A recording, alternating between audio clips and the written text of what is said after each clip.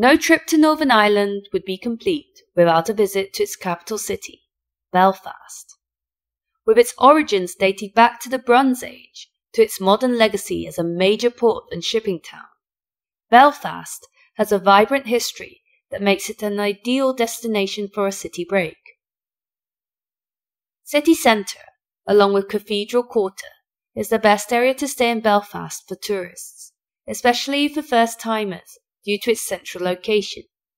If you stay here, you'll be located in the heart of a city within walking distance of major tourist attractions as well as many restaurants, bars, and shops. If you're drawn to Belfast for its maritime history and the connections to the Titanic, consider the aptly named Titanic Quarter or the nearby East Side District.